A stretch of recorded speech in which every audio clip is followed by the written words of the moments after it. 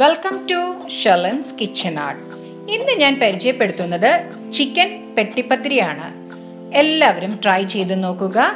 നിങ്ങൾക്ക് ഇഷ്ടപ്പെട്ടെങ്കിൽ ലൈക്ക് ചെയ്യാനും ഷെയർ ചെയ്യാനും സബ്സ്ക്രൈബ് ചെയ്യാനും സപ്പോർട്ട് ചെയ്യാനും മറക്കരുത്. തൊട്ടടുത്തുള്ള ബെൽ ഐക്കൺ പ്രസ് ചെയ്താലേ ഇനി ഞാൻ അടുത്തിരുന്ന വീഡിയോയുടെ നോട്ടിഫിക്കേഷൻ കിട്ടിയുള്ളൂ. ഒരു കപ്പ് മൈദ എടുത്തിട്ടുണ്ട്. അതായത് ഇരുന്നൂറ്റമ്പത് ഗ്രാം അതിലേക്ക് ആവശ്യത്തിന് ഉപ്പ് ചേർക്കാം. ഇനി നമുക്ക് കുറച്ച് വെള്ളം ഒഴിച്ച് പതുക്കെ ഒന്ന് മിക്സ് ചെയ്ത് കൊടുക്കാം. കുറേശ്ശെ വെള്ളം ഒഴിച്ചു കൊടുക്കണം അധികമാവരുത്. ഇപ്പം അത്യാവശ്യം നന്നായിട്ട് വെള്ളം ഒഴിച്ചിട്ടുണ്ട്. ഇനി നമുക്ക് കൈകൊണ്ട് നന്നായിട്ട് ഒന്ന് കുഴച്ചെടുക്കാം. ഏകദേശം ഒരു അഞ്ച് മിനിറ്റ് നന്നായിട്ട് ഒന്ന് കുഴച്ചെടുക്കണം. ഇപ്പം നന്നായി കുഴച്ചെടുത്തിട്ടുണ്ട്. നമ്മൾ ചപ്പാത്തിക്കൊക്കെ മാവ് കുഴക്കുന്ന പോലെ.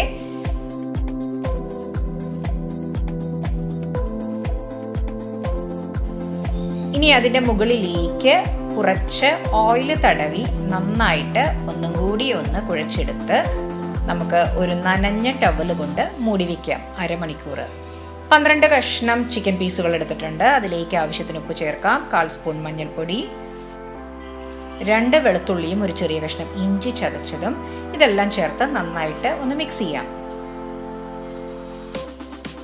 ഇനി നമുക്കിതൊരു പ്രഷർ കുക്കറിലേക്ക് ഇട്ട് കാൽ ഗ്ലാസ് വെള്ളമൊഴിച്ച് നന്നായിട്ട് മിക്സ് ചെയ്ത് നമുക്കിതൊരു മീഡിയം ഫ്ലെയിമിൽ നാല് വിസിൽ വരുത്താം. ഇപ്പം നാല് വിസിൽ വന്നിട്ടുണ്ട്. ഇനി നമുക്ക് ഗ്യാസ് ഓഫ് ചെയ്യാം. ഇപ്പം നമ്മളുടെ ചിക്കനിലൊട്ടും വെള്ളമൊന്നുമില്ല. ഇത് നമുക്ക് ഷ്രെഡ് ചെയ്ത് മാറ്റി വയ്ക്കാം പാനിലേക്ക് വെളിച്ചെണ്ണ ഒഴിക്കാം. നാടൻ വിഭവങ്ങൾക്ക് വെളിച്ചെണ്ണയാണ് നല്ലത്. ഇനി അതിലേക്ക് രണ്ട് സവാള ചെറുതായി കൊത്തിയരിഞ്ഞത് മീഡിയം സൈസ് രണ്ട് സവാളയാണ് ഞാൻ എടുത്തിരിക്കുന്നത്. നാല് കഷ്ണം വെളുത്തുള്ളിയും ഒരു ചെറിയ കഷ്ണം ഇഞ്ചി ചതച്ചതും. മൂന്ന് പച്ചമുളക്. കുറച്ച് വേപ്പില. ഇനി നമുക്ക് ഈ സവാള ഒന്ന് സോട്ടായി കിട്ടാൻ കുറച്ച് ഉപ്പും കൂടി ചേർക്കാം. ഉപ്പ് ചേർക്കുമ്പോൾ സൂക്ഷിക്കണം. നമ്മൾ ചിക്കനിൽ ഉപ്പിട്ടിരിക്കുന്നതാണ് ഇനി നമുക്ക് നന്നായിട്ടൊന്ന് സോട്ട് ചെയ്യാം. ഇനി നമുക്കിത് മൂടി വെച്ച് ലോ ടു മീഡിയം ഫ്ലെയിമിലിട്ട് അഞ്ച് മിനിറ്റ് വേവിക്കാം. ഇപ്പം അഞ്ച് മിനിറ്റ് കഴിഞ്ഞു. നമ്മളുടെ സവാളയൊക്കെ നന്നായി വഴന്ന് വന്നിട്ടുണ്ട്.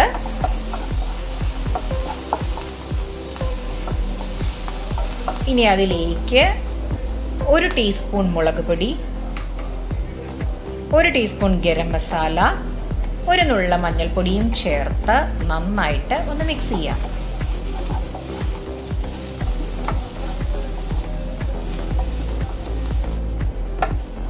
ഇപ്പം നന്നായി മിക്സ് ആയിട്ടുണ്ട്.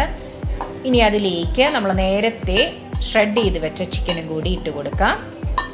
നമുക്ക് ഈ ഒരു റെസിപ്പിക്ക് നന്നായിട്ട് ചിക്കൻ ആവശ്യമാണ്. ഇനി ഇത് നന്നായിട്ട് ഒന്ന് മിക്സ് ചെയ്തെടുക്കാം. ഇപ്പം നന്നായി മിക്സായി വന്നിട്ടുണ്ട്. ഇനി നമുക്കിത് മൂടി വെച്ച് മൂന്ന് മിനിറ്റ് ഒന്ന് ഡ്രൈ ആക്കാൻ വെക്കാം. ഇപ്പോൾ മൂന്ന് മിനിറ്റ് കഴിഞ്ഞു. നമ്മളുടെ ചിക്കൻ നന്നായിട്ട് ഡ്രൈ ആയി വന്നിട്ടുണ്ട്. മുളക് പൊടി മസാലപ്പൊടിയൊക്കെ നന്നായിട്ട് യോജിച്ച് കിട്ടിയിട്ടുണ്ട്. ഇനി നമുക്ക് ഗ്യാസ് ഓഫ് ചെയ്യാം. ഇനി നമുക്ക് അതിലേക്ക് കുറച്ച് മല്ലിയില ചേർക്കാം. കുറച്ചധികം തന്നെ മല്ലിയില ചേർക്കണം. അപ്പോൾ ഒരു പ്രത്യേക ടേസ്റ്റ് ആയിരിക്കും.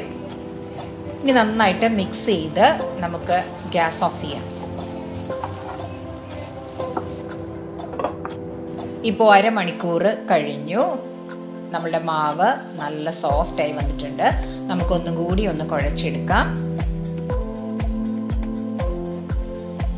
ഇനി നമുക്ക് ഓരോ ഉരുളകളാക്കാം. നമ്മൾ ചപ്പാത്തിയുടെ അളവിലുള്ള ചെറിയ ഉരുളകളാക്കാം.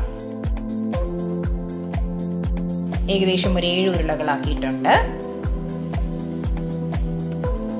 ഒരു ടേബിൾ സ്പൂൺ ബട്ടർ എടുത്തിട്ടുണ്ട്. അതിലേക്ക് ഒരു ടേബിൾ സ്പൂൺ കോൺഫ്ലോറും കൂടെ ചേർത്ത് നമുക്ക് നന്നായിട്ടൊന്ന് മിക്സ് ചെയ്തെടുക്കാം. ഇപ്പം നമുക്ക് ബട്ടറിന് പകരം ഓയിലും യൂസ് ചെയ്യാവുന്നതാണ്. പക്ഷേ ബട്ടർ ഇടുമ്പോഴാണ് നമ്മളുടെ പെട്ടിപ്പത്തിരിക്ക് ഒരു പ്രത്യേക ടേസ്റ്റ് ഇപ്പം നന്നായി മിക്സ് ചെയ്ത് മാറ്റി വയ്ക്കാം ഇനി നമുക്ക് കുറച്ച് മൈദ ഡസ്റ്റ് ചെയ്ത് നമുക്ക് ഇതൊന്ന് പരത്തിയെടുക്കാം. നല്ല നൈസായിട്ട് പരത്തിയെടുക്കണം. ഒട്ടും കനം പാടില്ല. ഇപ്പോൾ നല്ല നൈസായിട്ട് പരത്തിയെടുത്തിട്ടുണ്ട്.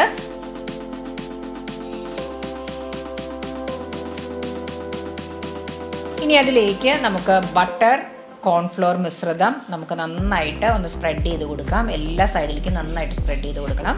നമ്മളിങ്ങനെ ചെയ്യുമ്പോൾ നമ്മളുടെ പത്തിരിയുടെ ആ പുറമേയുള്ള ഭാഗം നല്ല ക്രിസ്പിയും നല്ല ലെയറുമായിട്ടിരിക്കും. ഇനി അതിന്റെ മുകളിലേക്ക് കുറച്ച് മൈദ സ്പ്രെഡ് ചെയ്യാം. ഇനി നമുക്കതൊരു പ്ലേറ്റിലേക്ക് മാറ്റാം. ഇതുപോലെ നമുക്ക് അടുത്ത ഉരുളയും ഇതുപോലെ തന്നെ നമുക്ക് നന്നായിട്ട് നൈസായിട്ട് പരത്തിയെടുക്കാം.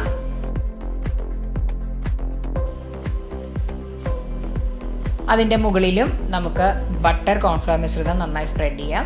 ഇതുപോലെ ബാക്കിയുള്ള ഏഴ് ഉരുളകളും ഇതുപോലെ നമുക്ക് പരത്തി ബട്ടറും കോൺഫ്ലവർ മിശ്രിതവും ചേർത്ത് മൈദയും ടെസ്റ്റ് ചെയ്ത് എല്ലാം ഇങ്ങനെ ഒന്നിന് മുകളിലായിട്ട് വെക്കാം. ഇപ്പം എല്ലാം ഒന്നിന് മുകളിലായിട്ട് വെച്ചിട്ടുണ്ട്.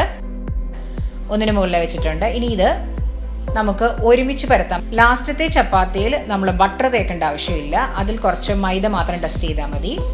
ഇനി നമുക്കിത് നന്നായിട്ട് എല്ലാം കൂടെ ഒരുമിച്ച് ഒന്ന് പരത്തിയെടുക്കാം. നമുക്ക് ഓരോ ലെയറായിട്ട് കിട്ടാൻ വേണ്ടിയിട്ടാണ്. ഇതുപോലെ നൈസായിട്ട് പരത്തിയെടുക്കാം.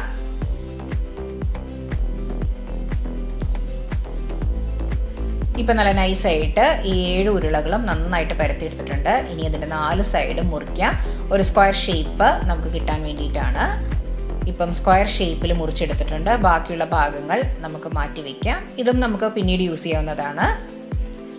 ഇനി നമുക്ക് പതുക്കെ ഇങ്ങനെ ഇതുപോലെ ഒന്ന് റോൾ ചെയ്തെടുക്കാം. വളരെ സോഫ്റ്റ് ആയിട്ടുള്ള മാവാണ്. പതുക്കെ പതുക്കെ നമുക്ക് റോൾ ചെയ്തെടുക്കാം. ഇപ്പൊ റോൾ ചെയ്തെടുത്തിട്ടുണ്ട്. ഇനി നമുക്കൊരു കത്തി കൊണ്ട് ഈക്വൽ പാർട്സ് ആയിട്ട് മുറിച്ചെടുക്കാം. ഒരേ അളവിൽ തന്നെ മുറിച്ചെടുക്കണം. ഇപ്പൊ ഏകദേശം ഒരു പത്തെണ്ണത്തിനുള്ള അളവിൽ ഞാൻ മുറിച്ചെടുത്തിട്ടുണ്ട്. ഇനി നമുക്കിത് പതുക്കെ ഒന്ന് പ്രസ് ചെയ്ത് കൊടുക്കാം.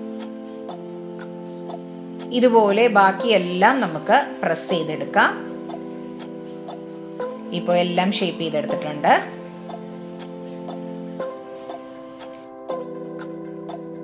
ഇനി കുറച്ച് മൈദ ഡസ്റ്റ് ചെയ്ത് നമുക്കിത് പതുക്കെ ഒന്ന് പരത്തിയെടുക്കാം. കനം കുറച്ച്.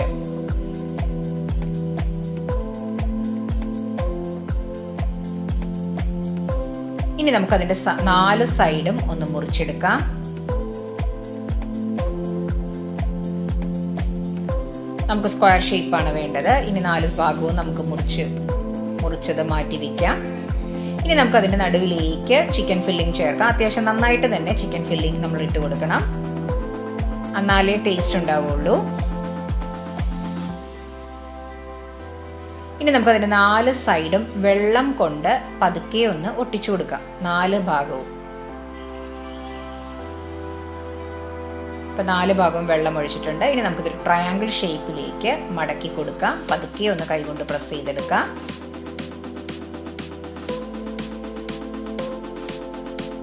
ഇനി നമുക്ക് ഫോർക്ക് കൊണ്ട് ഒന്ന് പതുക്കെ പ്രസ് ചെയ്ത് നമുക്ക് ഇതുപോലെ ഒന്ന് ഭംഗിയായിട്ട് ഒന്ന് ഭംഗിയുള്ള ആകൃതിയിലാക്കാൻ ഇതുപോലെ നമുക്കൊന്ന് ഷേപ്പ് ചെയ്ത് കൊടുക്കാം.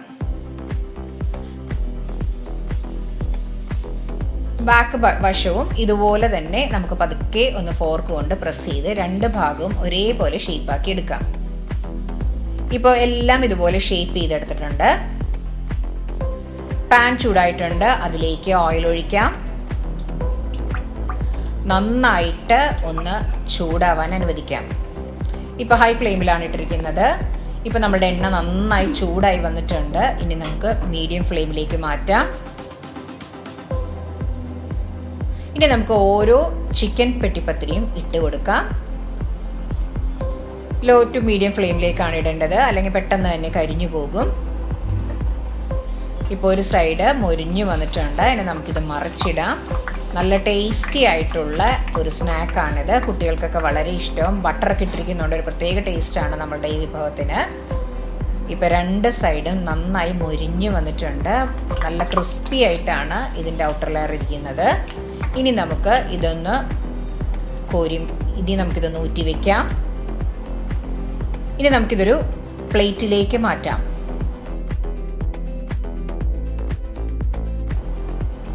ഇതുപോലെ അടുത്തതും നമുക്ക് ഇട്ട് കൊടുക്കാം. പെട്ടെന്ന് തന്നെ നമുക്കിത് ഫ്രൈ ആയി കിട്ടും.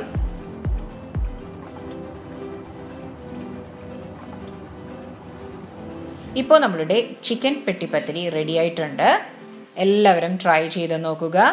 നിങ്ങൾക്ക് ഇഷ്ടപ്പെട്ടെങ്കിൽ ലൈക്ക് ചെയ്യാനും ഷെയർ ചെയ്യാനും സബ്സ്ക്രൈബ് ചെയ്യാനും സപ്പോർട്ട് ചെയ്യാനും മറക്കരുത്. തൊട്ടടുത്തുള്ള ബെല്ലൈക്കൺ പ്രസ് ചെയ്താലേ ഇനി ഞാൻ അടുത്തിടുന്ന വീഡിയോയുടെ നോട്ടിഫിക്കേഷൻ കിട്ടിയുള്ളൂ. Thanks for watching my channel